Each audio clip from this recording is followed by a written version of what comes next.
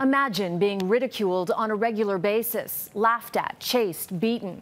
That is the reality many transgender people face, and in some cases, they are killed simply for being who they are.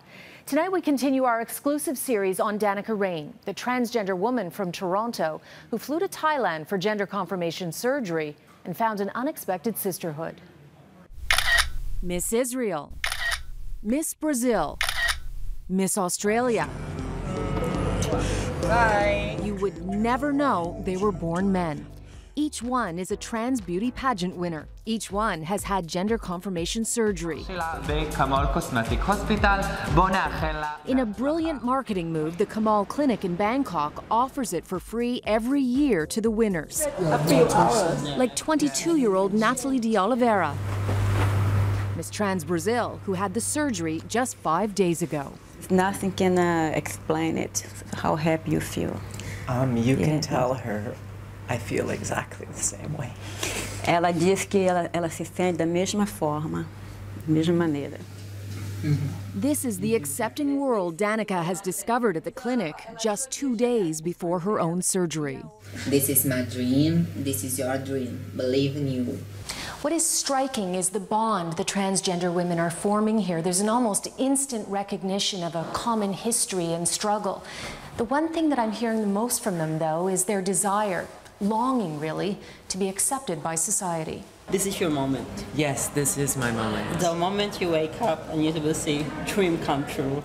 Andrea Jacka Smith, Miss Trans Australia, had the surgery in July. She's been married to a man for almost two years. Everyone has been so kind. They call themselves trans sisters. To truly understand this sisterhood, consider what they face at home. Brazil, where Natalie lives, is ranked as the world's deadliest place for gay and transgender people, with an estimated 1,600 murdered in the past four and a half years. Yes. Good luck for your surgery. In some states, in Natalie's Australia, gay panic can still be used as a legal defense for murder if the victim made a pass at their killer. Look at her Facebook post November 30th. Sometimes I smile to hide sadness. Transgender life. I think everyone faces discriminations. I, I experienced that, but it's normal. That gay panic defense, by the way, can be used here in Canada as well. They all live with the fear they will be attacked for who they are. It's happened to Danica, even in her own home. Some people broke into my apartment to beat me up. It is not just trans beauty queens who make up this club at the clinic. There are so many others, each with a fascinating story. Meet Divi Devondre, who is in her 70s and completing her transition from male to female. Her surgery is tomorrow. I've arrived at the time of my life that I've stopped lying and uh, uh, I've become who I am. It's, uh, it's been a long journey to get here. Coming out as the trans kid? Oh, God, no. And then um, there's 21 year old Kai Boggart, who is transitioning from female to male. Two years ago, his story went viral when his mother put a tongue in cheek retraction notice in the birth section, saying, In 1995, we announced the arrival of our Sprocket as our daughter. He informs us we were mistaken. Oops, our bad. Yesterday, Kai had a double mastectomy. I saw my breasts as tumours, benign obviously, because they weren't cancerous, but I saw them as tumours, lumps that shouldn't be there.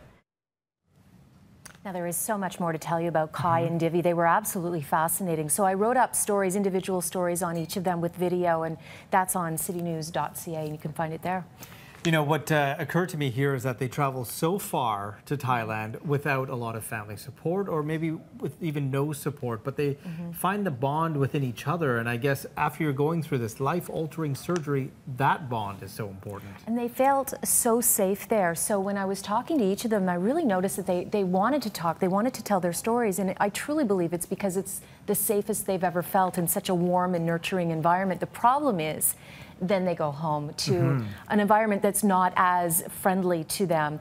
I was speaking on the phone with Kai just mm-hmm. the other day via Facebook, and he was telling me, you know, it, it's kind of hard to come home. I miss these people. I miss that warmth and nurturing environment. All right. Thank you, Sin.